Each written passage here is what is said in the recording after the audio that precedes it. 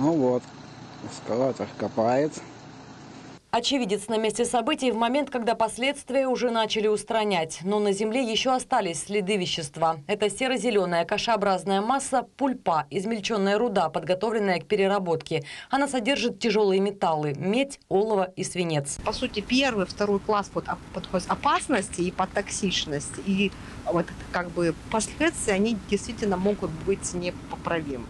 Пульпа из трубопровода идет с Толнахской обогатительной фабрики в район Медного и Надеждинского заводов. Утечку обнаружили в 150 метрах от моста через реку Норильскую. По словам очевидцев, вещество попало в воду. Вот туда, в тот ручей, речку, которая впадает в Норилку. Свидетели обратились в полицию. О случившемся стало известно и специалистам Минэкологии края, которые в эти дни работают в Норильске. Мы вместе с прокуратурой сегодня выезжали на место, потому что знаете, по требованию прокуратуры у нас экологическая лаборатория здесь работает.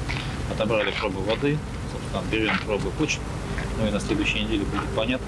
По результатам анализов выяснится, попали тяжелые металлы в почву и водные объекты или нет. Компания «Норникель» проводит внутреннюю проверку. Предполагается, что пульпа вышла потому, что кто-то открыл вентили. Порывов или неисправностей на трубопроводе не обнаружено. Территория уже очищена от загрязнений. Материал весь собран и вывезен э, на временную площадку хранения в район медного завода, где будет находиться до э, окончания выяснения причин образования данного вещества.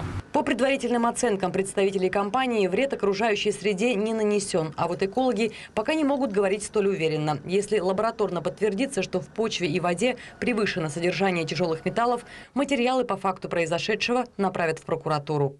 Виктория Комиссарова, Юрий Толстов, Енисей, Новости, Норильск.